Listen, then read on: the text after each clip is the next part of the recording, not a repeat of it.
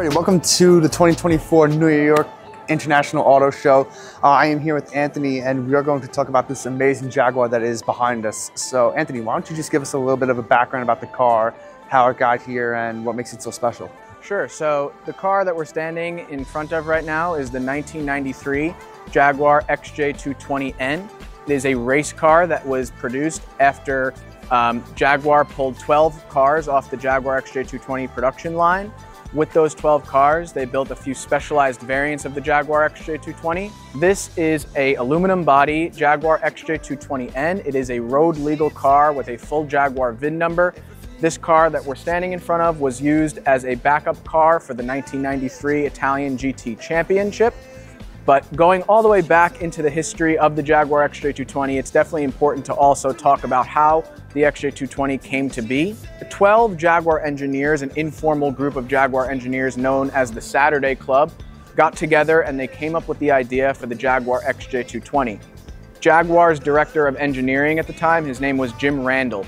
Jim Randle is the one that laid the groundwork for the XJ220 project, and a South African designer by the name of Keith Helfet is the one that came up with the exterior styling for the XJ220.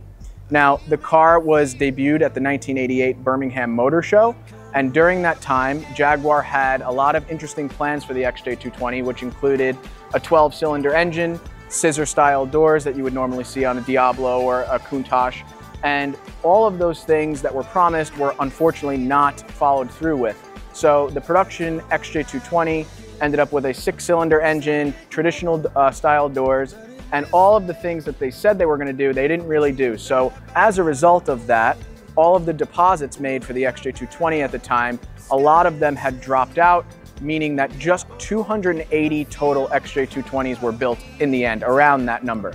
Um, so of the 280, like we said, 12 of those cars were pulled from the production line to become specialized variants, with this one being the Jaguar XJ220N. Now, as we said, the XJ220N was a race car. This one was unraced.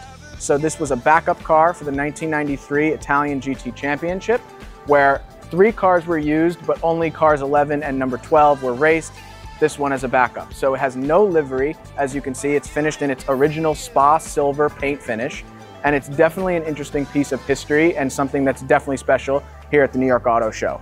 And on behalf of the Caretakers Collection, who has an incredible collection of cars located in California, this is just one of their amazing pieces of machinery that they have.